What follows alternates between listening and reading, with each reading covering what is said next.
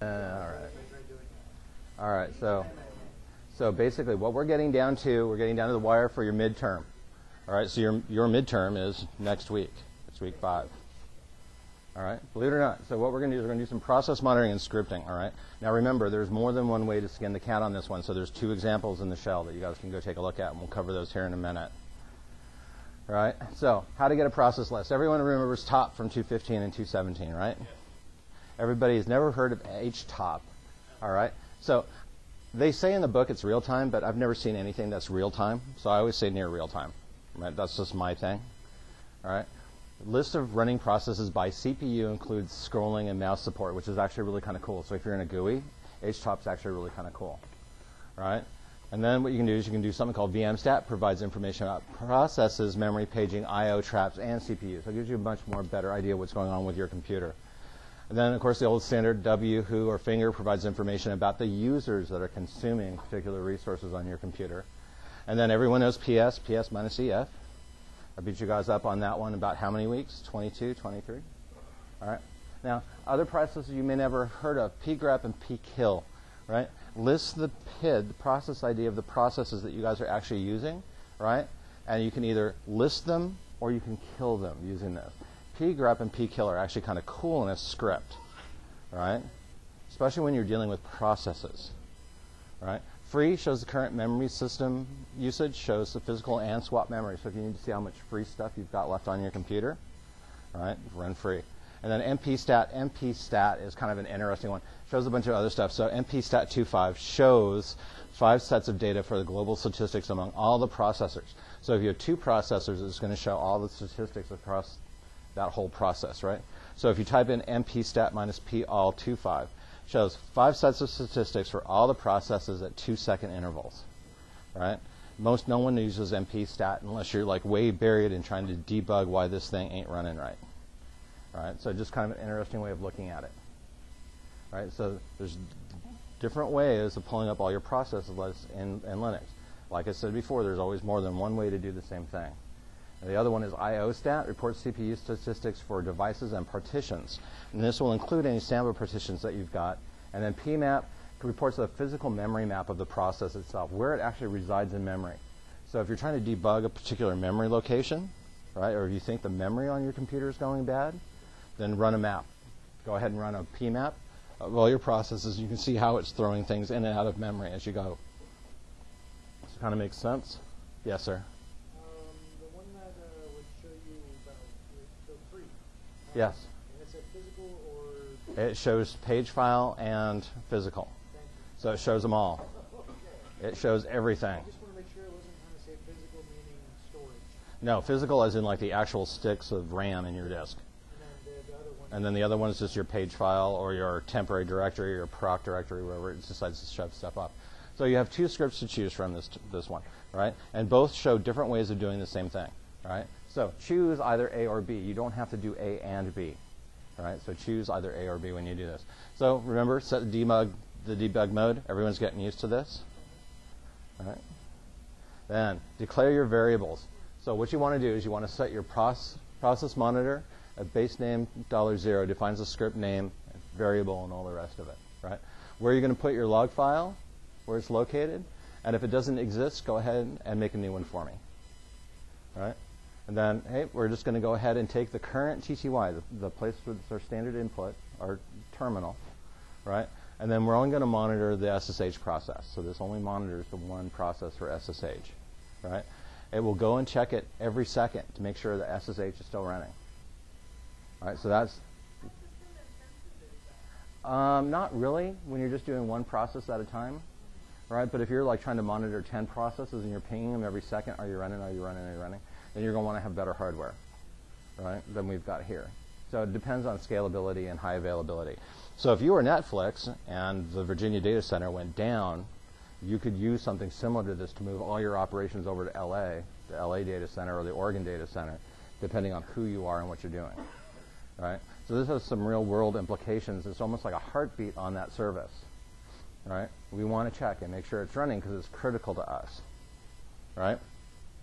Then he put a bunch of really cool colors in here. So text red, text green, text yellow, and then reset the text so that it goes back to its normal colors. Right? So remember when we did coloring with the other command last week? This is another way of doing coloring, text red. All right, text green. It just works on the simple RGB template, right? So red, green, blue, yellow. So if you're colorblind, this is really going to kill you, especially if you're red-green colorblind.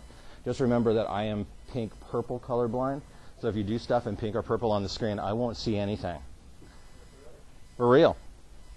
For real. And that's the reason why I couldn't go be a wiring guy in the Navy. It was because I couldn't see certain colors of the wire, so it would be really bad if the pink wire blew up the ship. There's a reason why they don't let me do certain things. All right? Now, we go back to our traps, right?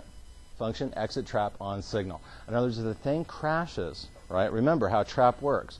It says, oh, this crashed or this did something, or I typed in exit or hit control C to get out of it.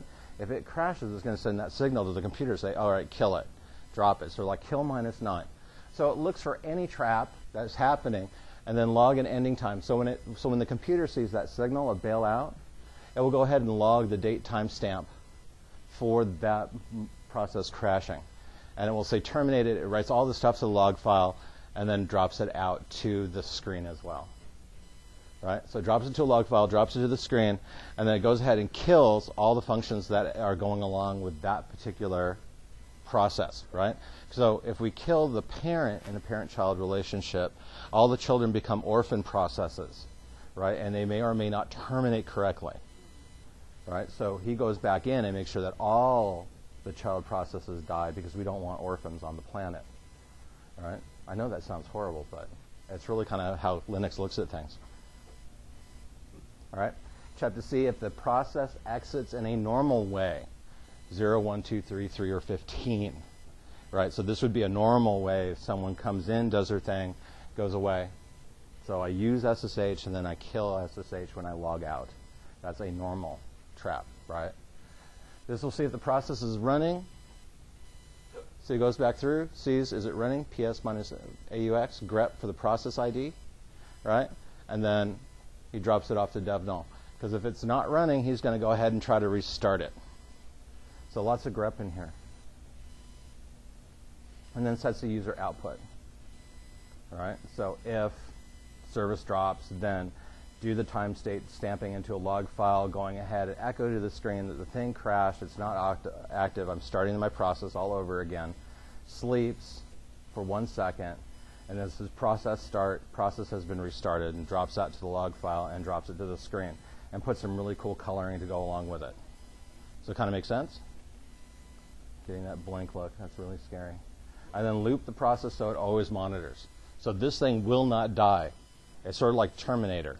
It will not die. It will pursue that process to the ends of the earth and will never die until you shut down and reboot the computer. Right? And that's kind of what you want, but you've got to remember your overhead. Right? This is going to have a really small footprint of only a couple K. But if you're, process- if you're monitoring hundreds of processes, then it starts adding up after a while. Right? And again, he does all of his good stuff in his log file. He's putting things in nice colors. He's doing all the other things, echoing it all out. Right? Check to see if the process restarted. Right? And if it didn't restart, you can go back through and keep on trying to restart this process. Keep on trying. Don't ever give up. All right. So script 4B is a little bit more streamlined right? He actually hard codes the target into SSH, right? So he's just monitoring SSH, but he actually hard codes it, all right? He waits time for 10 seconds before he goes and does anything else. All right, then he doesn't check for the existence of log file. He just says, here's where you're going to drop it all. So remember, Linux will actually go ahead and create the file for you, but it may not have the right permissions or other things that you need to have running at the same time. Then See if the script restarted the process successfully. If it failed, give it a zero. Then he does his core monitoring. So he does the same thing that the other guy does, right? For attempting in one, two, three, do, look at my target, look at my hard code. Where did I get my process from? What's my process? Right? Then log the date, time, echo.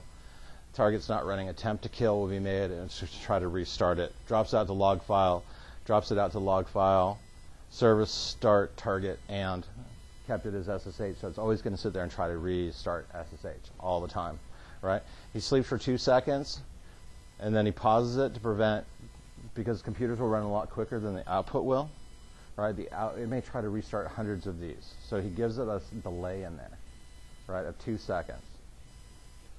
Right, and then else attempt three, attempt the third time. If it can't come back up on the third attempt, he drops you a note that says, okay, I can't bring this thing back up, it's forked.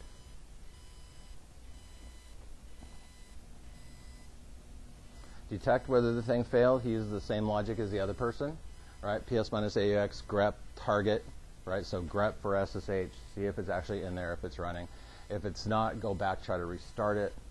If it is, log date and time that we did and not running after three attempts, then he goes through his process, right? Drops it to the screen, drops it to the log files. He's basically doing the same core logic as the other person. It's just how we hard-coded it in the variables that are different. Does it kind of make sense? So essentially, you've got the same thing. The logic is the same, but how he programmed up the variables is, is the difference. And then program closing on his core drops everything. He doesn't do any of the fancy text coloring or anything else, so he makes it all happy in terms of just being text out to the screen and text out to the log file and no worries. So this is really just kind of here you go, boom. Right? There's no frills to this. It's really just basic. All right, and then what he does too is he goes through and makes sure that his script actually dies. If it can't do stuff, can't do it, then this script will fail, and it will go through and kill minus nine its own self. So it will try to kill itself. It's suicide by kill. All right, then he does his traps, core traps, same logic as the other guy. Program closing, exit 0, 1, 2, 3, 15 monitoring failures, script failure. So he's go through and tries to debug this thing a little bit more on why did we fail, right? Reports a failure in the event the process does not restart, script failure, all that kind of good things that go along with it. And again, he does that sleep too to make sure there's enough pause in there that the output catches up with the CPU, right? Because your computer's going to run a lot quicker than the other one. So it kind of makes sense? All right. So same thing, 4A. Choose A or B. Um, some people are reporting problems with regular SH, so this one was actually set for bin bash. Either one will work, right? In a lot of ways. So, but basically, here's exactly how he does it, and there's all your beautiful text coloring and everything else. He hard codes that process in. It'd be kind of interesting, though, is if you turn that into a variable, so the user could monitor a process of their own design. So that's one way of modifying this out instead of hard coding it, right? If you're Netflix, then you probably want to hard code it because you're only going to track four or five services to make sure your service is up and running all the time. And then the same thing, function exit trap, date, time, echo, kill all the functions, drops out all the jobs that he's got cooking, start of main, does his traps, does the search for the process that he's looking for, right? And then very generic text yellow, process is not active, and then does text reset, so it goes back to its normal color. The only problem with yellow, what does yellow imply in America?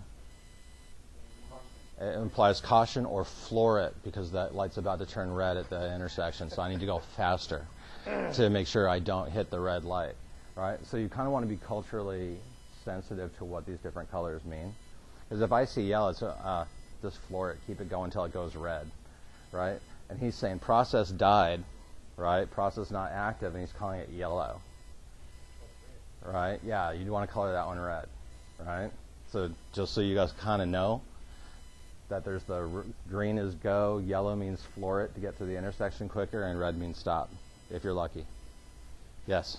So Ben, uh, the, uh, this thing is used for processing critical services on the system, like for example, daemons or Yes, you can use this to program a and monitor for daemons. You can use this to make sure that your kernel is running right.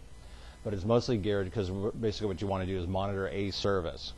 So if you wanted to do your database, if you wanted to do your Apache, if you wanted to do something else that was critical to your business, then yeah, you could change that over. We're just using SSH because SSH is easy, right? It's an on-off process, right? Um, where Apache is, you may end up with a lot of orphan children if the main Apache process dies. And you may not realize it until you're not spawning new things after a while. So kind of makes sense? Okay, and then again, he looks for his process while we just want to make sure it's running, if it's good to go. If it's not, then I want to go ahead and restart it. And same thing with 4B, it's just a little bit more convoluted and complex. It's really, really, really well commented, so you guys can follow along the logic a lot. So again, do you really want to make someone go and wait 10 seconds? Is 10 seconds enough time to wait between verifying that service is up and running? Log file, he doesn't check for the existence of the log file straight ahead. So if it doesn't have that log file that it can write to, what ends up happening? Yep. So process monitoring, and then the rest of the logic is the same as the other person. So it kind of makes sense on how he does this. And again, this one's pretty straightforward. He doesn't do anything fancy with it. He just kind of says, here, boom, here it is. So the logic is the same, but how they handle the log file and the text coloring and the output of the screen is a little bit different. Right? So there's ways of doing really cool stuff. And you can drop in whatever process you want to monitor. If you know you're only going to process monitor the top 10 things that you do all the time, then do it by top. And that will save you some of the, the timing with your script. Right? But if you just want to do it by one process, that's also perfectly valid. So everybody kind of clear on this? All right. So midterm next week. You guys excited? All right. All right, so let's wrap this up and then we'll talk about the midterm.